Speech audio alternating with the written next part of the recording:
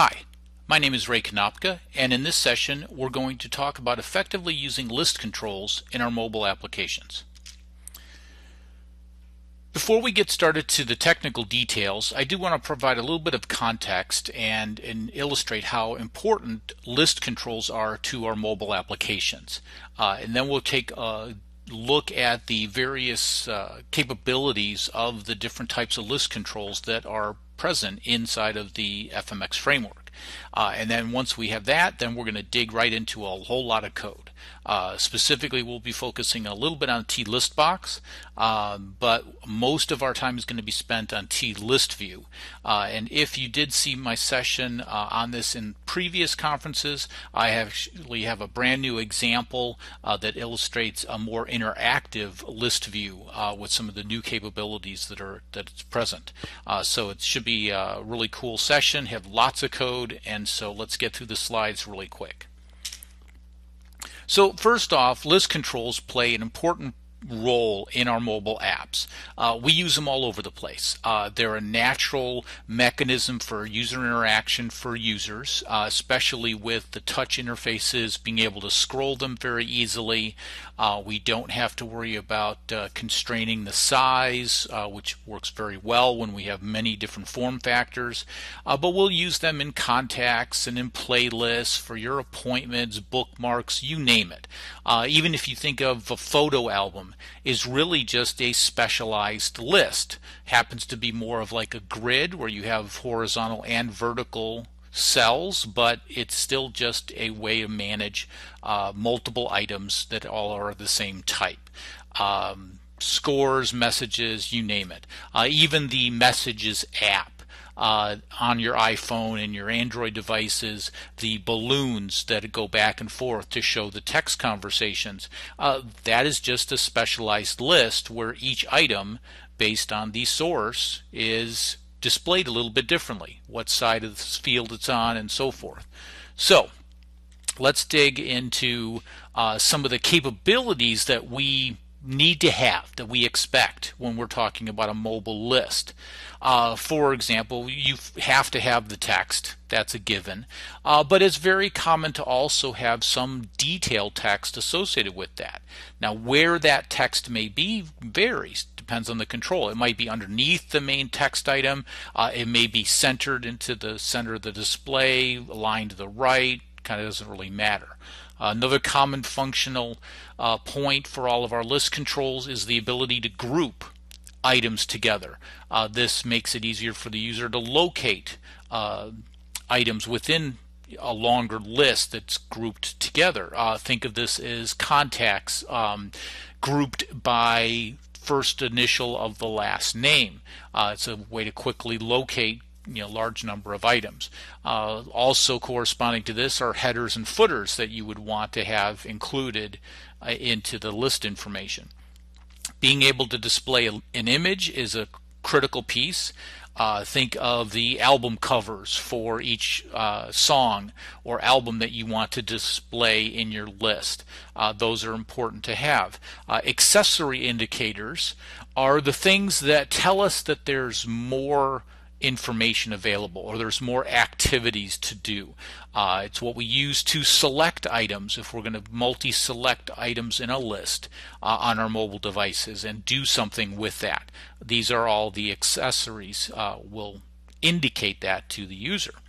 Uh, searching is built in uh, to the controls that uh, the FireMonkey framework provides and it's great that they do because this allows us to automatically with changing a property value, uh, introduce searching capabilities into our lists. Works out great. Uh, embedding other controls. Uh, this is actually something we'll, we'll illustrate in the first example that talks about how we use a list box with a lot of extra flexibility and being able to embed other controls into each item gives us a lot of flexibility for creating some very creative UIs. So the first thing that you'll run into when you're dealing with a new mobile application in uh,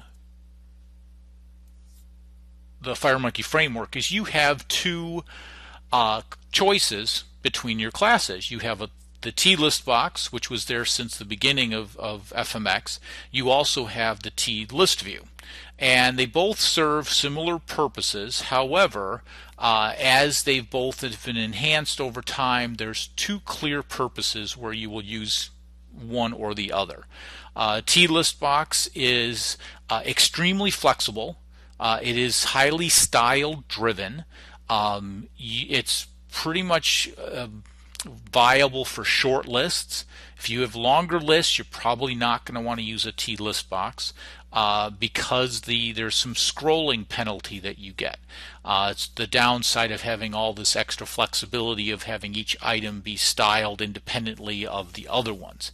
Uh, however, if you do need to manage a list of things, a list of settings is a classic example, or something that's not going to be that long, but you do want to provide a very rich interface, the T-list box is a, a very good example of that.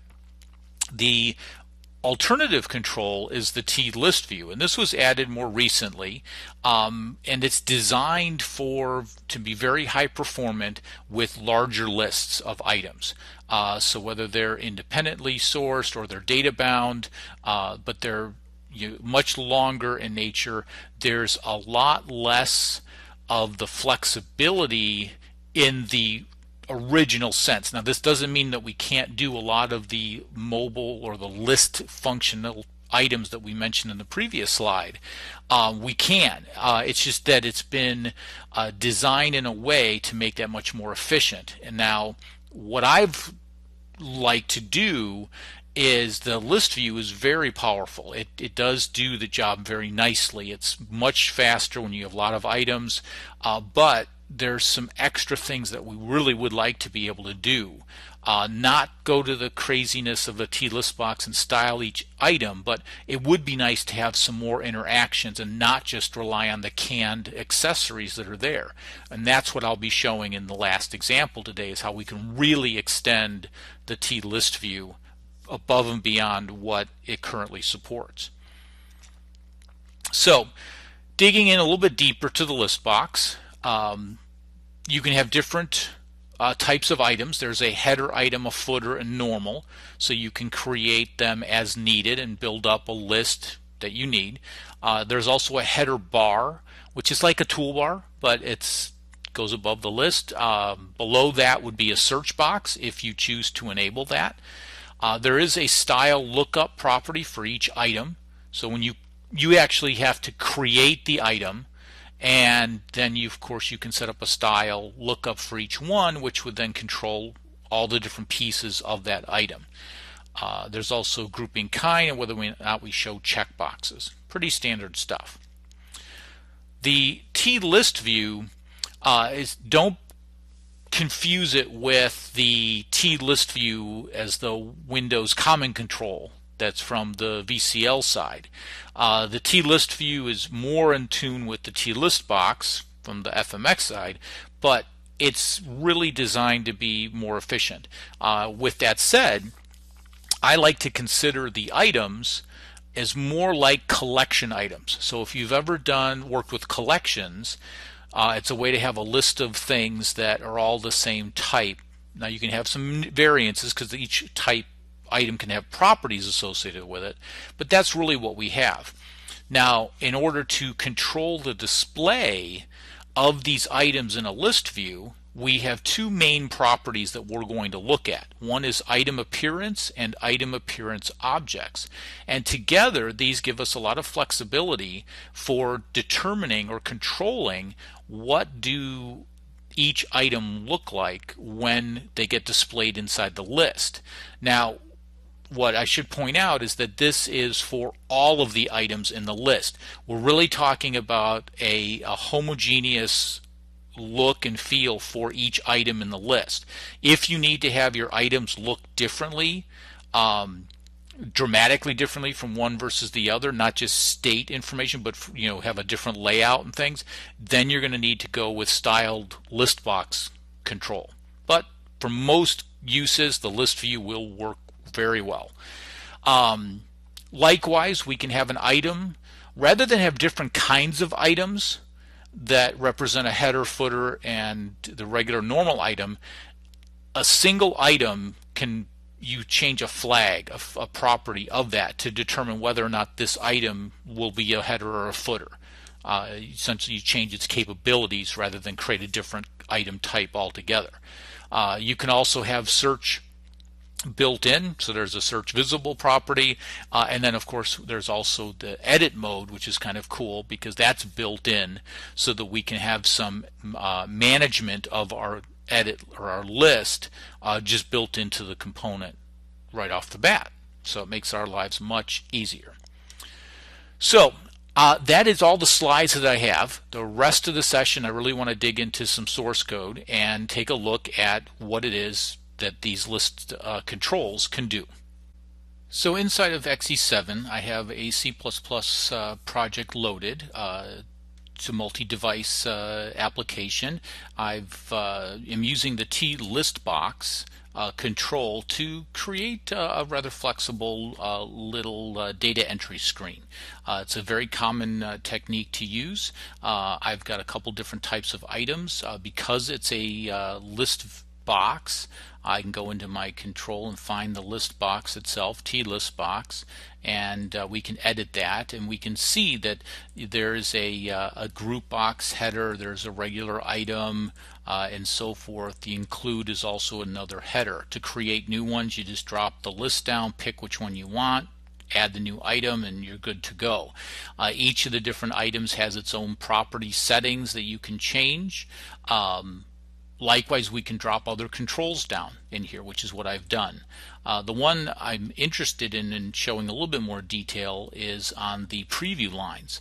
Uh, you'll notice that I have a tab control in here. I have a secondary tab which is going to show me uh, another list box with uh, a number of, of items in it that I can pick from, which will control what this value is. Uh, before we leave, though, I did want to emphasize that the item data is where uh, a list box item gets its uh, specifics. So whether or not it shows the uh, more accessory, if there's a bitmap image like these show, uh, what the detail line looks like. Uh, so there is some flexibility in there. Um, if I go ahead and run this, what we will see is uh, how this interaction works. So let me go ahead and start this. And here we have the application running on my device. Uh, as you can see, I can click on each of the items um, and make their change. I forgot I'm not running in the simulator. I have to tap on it with my real finger. Uh, if I go ahead and touch the preview lines, then I shift over to a new view, and I can use this to pick a new item and it will update for me. The nice thing with this is that if I have to pick something from a very long list, uh, rather than use a picker with a small footprint or even just a little pop-up, uh, especially on a mobile device, I can get the benefits of uh, searching and, and, selecting and scrolling through very rapidly a larger number of items. Uh, so again, it's a, it's a very effective tool uh, to use when appropriate. So next up we have uh, a little application that again uses a T-list view, uh, but that it's going to show not just a bunch of static fields that have been preset, but we're going to dynamically load uh, the uh, rankings, the current standings for the 2014 MLB Major League Baseball season. Uh, and so there's 30 different teams. They're all in different divisions. So we're going to create some groups. We'll create the right orders based on their standings and their division. Uh, and then you can see that we still have another tab because we can drill down into a particular team and get the list of players and their stats and so forth. Uh, so we're going to really dig into a couple different pieces here.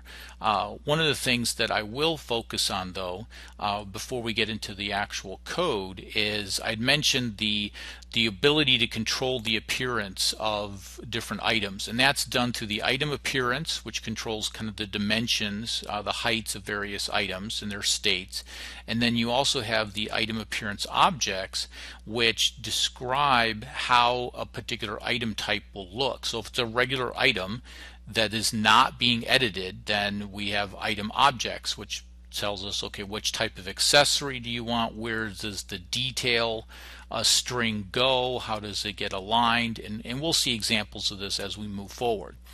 So let's look at the code real quick because what this does is when I start up the application I'm going to load the standings and as far as we are concerned with this sample app the, there's a source of data uh, for each of the teams and their players, and that's coming from this team data unit.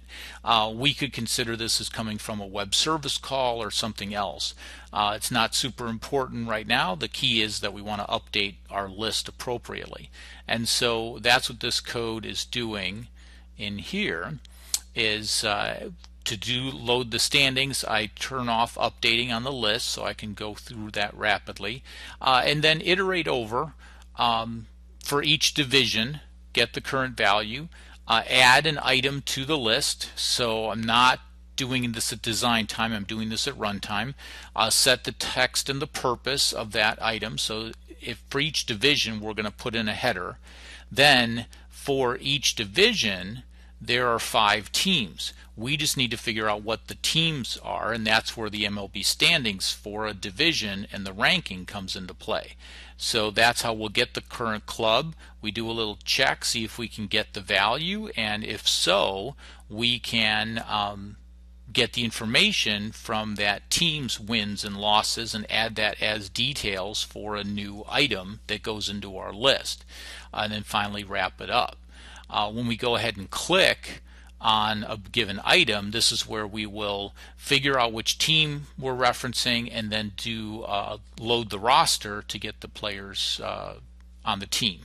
And so we can dig into uh, all of that and see what that looks like.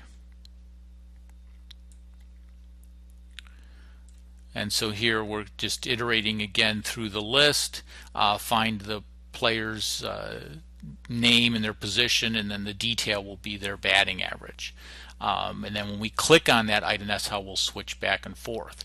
What's nice is the remaining items here is how we can enable the search mode and whether or not uh, what type of edit mode we get into uh, in the secondary view. So let's go ahead and run this and we can see all this in action. Now that we have the application running, we can see that we do indeed have separate groups for each of the divisions and the players uh, in their list. Uh, we can go ahead and uh, I can scroll that, get all the items down. Um, what I can also do, uh, which is very interesting, by toggling that uh, search visible, I can pull up the search and type in Cubs, my favorite team, and quickly locate the particular item I want, tap on it, and now I can drill into the different items that are listed there. So here's where I have the details showing the average, the position, and the player. If I go and click the edit button, then I can uh, delete a particular player. Maybe, oh, that's, I think Brian's no longer with the team, so I can remove him from the lists. I can toggle that off. I can also go into the lineup uh, and pick different options of who's going to be my starting players for today. Uh, and of course I can extract that information as well and operate on that. Uh, so it's extremely useful to be able to manage all of this without uh, having to write a lot of code. Of course I can clear the list and get back to my full message of, uh, of teams that are in there. So let me close this down. So again, another good use of uh, the capabilities for our list view. So next up, I'm going to switch to another list view, but this time it's going to use uh, ratings and a custom control that I've created. So rather than just have the detail, I, actually want the detail, but I want it to show in a different location. Uh, I'm using the live binding capabilities uh, to connect to the data even at design time, and I'm changing the the uh, the detail to be beneath the regular item. And if you remember uh, that is done within the item appearance and item appearance objects. So item appearance for example I could let's say I wanted to make this a larger control I could change the item height to be 60 uh, and that will sh you know, immediately show the effect of that. The item edit height is for when I'm editing the item. So either that delete mode or the checkbox mode is there. Um, to get this layout that uh, I have, I'm taking a regular object and I'm taking the text and making its uh, text align is still leading, but I'm, the vertical alignment is now leading, which means it's going to be more closer to the top of the cell than the bottom or centered. Likewise, for the detail, I'm changing its text alignment uh, to be leading, moving it from the trailing, which would be the right side, but to the left side. The vertical I'm now making trailing, which means it's going to be oriented more towards the bottom of the cell rather than the center. So this is how I've made these changes just at design time. Um, however, the key piece of what I've done here is I want to have some additional information being shown in this list for each item, specifically the ratings, cost, and, and a little rating value. And so by being able to um, set this up, it makes it very effective. Uh, each uh, T-list view has an event called onUpdateObjects that gets called when it's creating the various objects that it needs. Well, one of the techniques that we can do is we can add additional objects. Now, it can't be any type of object. It actually has to be a list item specific object and there are several uh, what we're doing for we're going to add some text labels which are actually um, not really text they're a T list item text. Uh, so it's it's not a label control and doesn't have all the heavy uh, styling and everything else that's needed there. But we can certainly make changes to the alignment and coloring and so forth so we've added a couple uh, text fields out there. And then we're adding in a few of these T list item rating icons which is going to uh, show us uh, a visual representation of a numeric rating. Well T list item rating uh, icon is defined inside this rating list items unit. And it uses a path object for each of the different rating types and based on what rating comes back from the data we show the correct one. And so it's a very powerful way to extend the visibility. So let's take a look at what this looks like on the device so here we can see that it's not just the name of the food processor and the model number, but we added these additional fields. So the price and then the rating number and then uh, individual ratings based on how the product works. What's nice is even though we've added all that data, I can still scroll this and manipulate it um, as I would expect. And so it does have a lot of capabilities uh, for displaying that. Now, one of the things that I don't have is that this is a static uh, view. It's it's read-only data. It's it's very powerful and very visual, but it's not interactive. And there are certain situations where I would like the list view to be more interactive, not just one accessory on it, but let's say, for example, I want to manage a playlist and I want to I want to rate the items inside of the app itself. Well, in the next example, we're going to do exactly that. In the next application, it's a very simple list again, uh, list view control, uh, as we can see if we click on this. And uh, I don't have anything loaded in at design time. We're loading all of this dynamically. Um, we'll take a look at that in just a second. But the idea is that we're going to have uh, the uh, song title, the artist, and then uh, the ability to rank each of these songs or rate them in from 1 to 5. Um, you would typically think of as stars. Uh, I have circles because that's what's readily available inside the uh, FMX framework. Uh, I do have another session that is uh, introducing Radiant Shapes by Raize Software where we actually will use stars. It's one of the new elements in the Radiant Shapes product. Uh, so I'll, I'll, illustrate that a little bit later in that session uh, should you choose to join in on that. So let's take a look and see how we populate the list um, and then we'll go from there. So to start, we're uh, loading up the playlist from an XML file into our client data set. Uh, that's what's going to have all the data on it. We do want this persistent, so we don't want to just make the changes and have them disappear when we close the app down. Uh, we iterate through each song in the client data set populating the item. So again, like a collection, we call the add method on the items of the playlist, the list view, get us a new reference to an item. We can set the text and the property, or text and the detail appropriately. Then the key piece, the new piece, is this statement right here, where we're creating a new T list items rating stars, uh, which is associated with the item that we just created in the list. We're going to name it rating and we're going to uh, initialize it based on the client data set as well. But more importantly, we're setting up an event handler for the on change event so that if the rating does change, uh, we become notified of it, which means we can then update the database uh, to reflect that same change. And so uh, there isn't a whole lot more other than saving the uh, client dataset data back to the XML file and then making the change. We simply filter it, make the change to the new rating, and then post it so that it's constantly updated in our client data set So what is this rating star, T list item rating stars? And if you remember T list item uh, rating that we rating icon was a descendant of a T list item. Um, we're going to do something similar. And in this case, though, is we're descending, let me pull up the header, uh, we're going to descend our class from the T list item embedded control.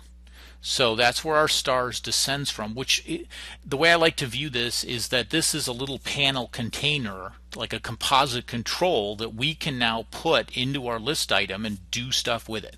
Now remember, we're talking a list item, it's supposed to be lightweight. We don't want this to be overburdened with a whole bunch of stuff. Just because we can doesn't mean we should.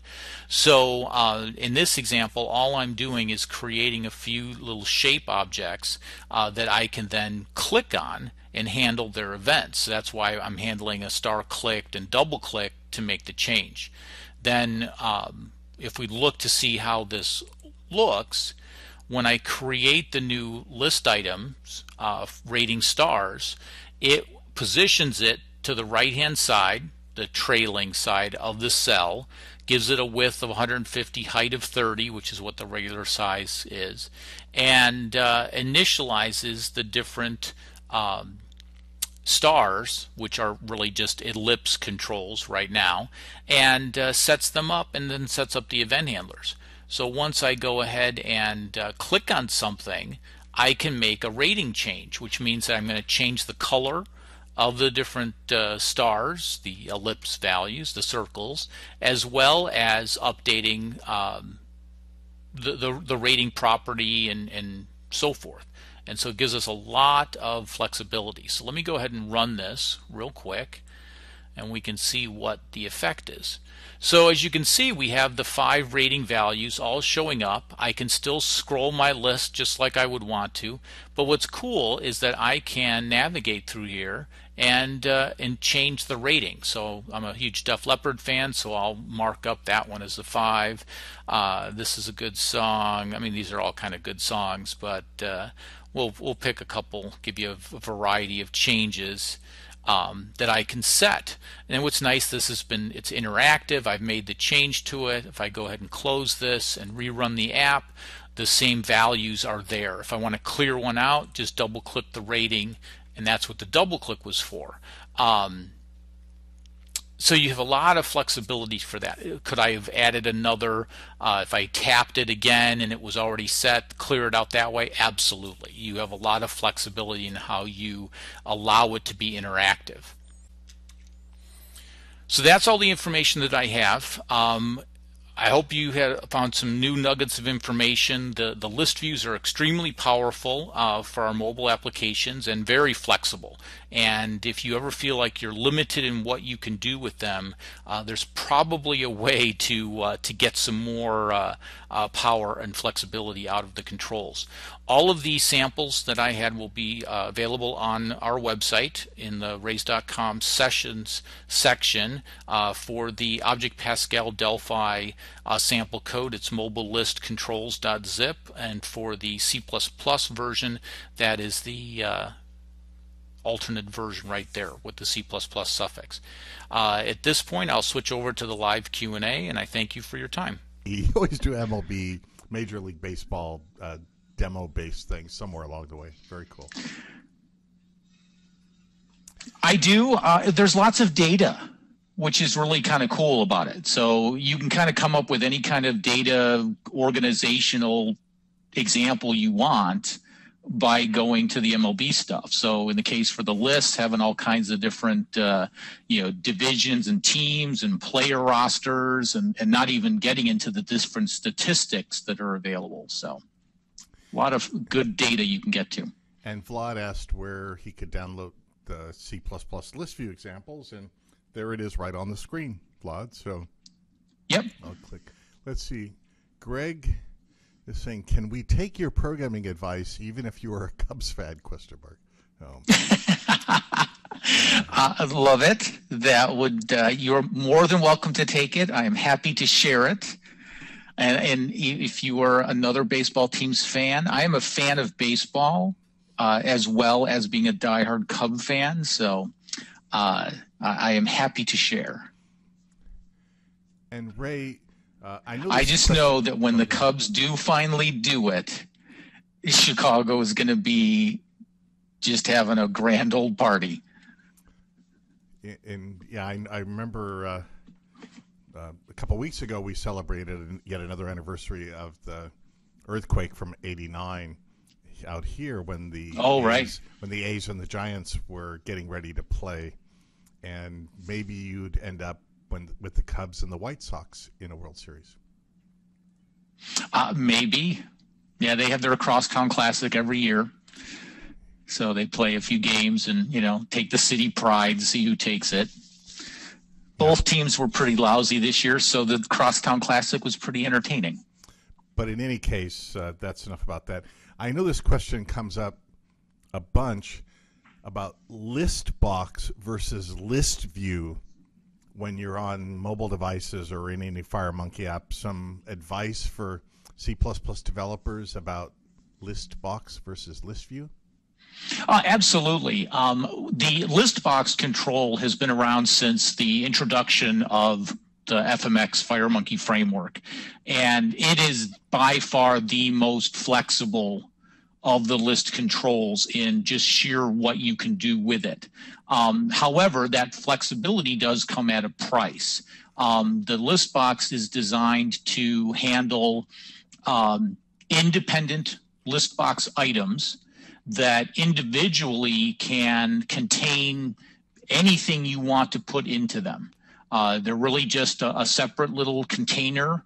Uh, you can think of it as its own panel or layout, and you can embed in other sub controls. You can embed, uh, you know, uh, you can even put you know images and lists of you know in and of itself, uh, radio buttons and checkboxes and all of those the switch controls and so forth. Um, you can also style the individual items so that you can get uh, variable height items. So one item might be a couple lines tall. The next one might be, you know, a complete, uh, you know, four or five, you know, traditional items tall. Uh, that flexibility does come at a cost, though. Is that um, there's a lot of uh, manipulation that needs to take place, a lot of uh, style generation that gets uh, involved in all of that, and when you're on a desktop, it's not a big deal. When you go to the mobile platforms, though, um, you know we don't have quite the resources that uh, we do on our desktops, and so you can often see a performance hit, which is one of the whole reasons why the list view control was created, was to handle these situations where you know all of my items are holding the same kind of data. Uh, think of a contact list, for example. Uh, I might have a couple different adornments on it. I might have you know like a master list to a detail, but for the most part, I'm not having to have so much flexibility, and that's where the list view really shines. Is that you can take advantage of the traditional mobile features that I illustrated in the session, like the ability to search, to have transitions to other you know, detail pages and so forth. Um, but it's very performant and it's designed as such. Now, does that mean that we should use the list view for everything and not use the list box? Uh, at first, you could certainly make that argument. You'd probably be okay. However, there are situations where the list box does have some value. Um, in particular, my example at the beginning about the settings, uh, and it may not be a traditional settings app, but one of the nice things with the list box that it gives you is it is a way to dynamically handle multiple items in a very consistent way. Uh, and what I mean by that is I can have a list where I each item holds different controls and, and things that I want to manipulate, but it's also has built-in scrollability so that if I'm moving my application from a small handheld device to a tablet, the list box will adapt to that if I have it aligned correctly, and I don't have to worry about having to do any kind of auto scrolling or anything like that. The layout, the management of that is taken care of for us. So there's definitely values for each control. And I and I know for my case in Listbox again, like the settings, you know, you can put a switch and some text or whatever. Uh, list box when there's a few items, uh, it's just fine, and yep, and you can group them and they nicely snap together. So it's good for that limited use for settings, or if you have a short list of choices. Exactly. And then the list view, I always remember, has a few other things. For example, it has the inertia, the physics kind of thing. I think, and, and it was either XE6 or XE7 where you had the the pull to refresh. I think Sarina right. blogged about that. Some of the yeah, that's the one nice thing is as each you know iteration of uh, RAD Studio and C++ uh, has come out, you know enhancements have been made to the FMX controls. And so, uh, you know, by having this ability in there, we can pick up, you know, more UI enhancements, more efficiencies, and and, and the, the capabilities work out really well. Uh, it, for example, um, in the, the the embedded control uh, example I did at the end with the ratings, um, there was in developing that um, when I first did it under the XE6 code base, and turns out that there was a minor uh, issue with um, some of the hit testing that was going on, and so uh, worked with uh, Sarina and others, and we we ended up getting that fixed in XE7, uh, which is great. So um, you know, always nice to see that things are improving and, and, and issues are getting addressed. And I should also mention that here in the C track, Ray's session is at 2 o'clock, uh, where he's going to introduce his brand new first FireMonkey component library set, introducing Radiant Shapes by Raize Software. That's at 2 p.m. Pacific time here in the C track. yes, uh, we're very excited about that one. Um, and actually, I will, I'll be bringing back this uh, the ratings list box uh, in that uh, presentation where I replaced the little circles with the real radiant stars, and uh, it's it's one of those things to where just a little minor little change, you know, a different shape that's used has a tremendously different impact on the way the app looks. Yeah, I I can't wait to see it. I know I've been uh, bugging and others have been saying, when is Raize Software going to come out with FireMonkey controls? And and here we have it, uh, debut today. It'll be great.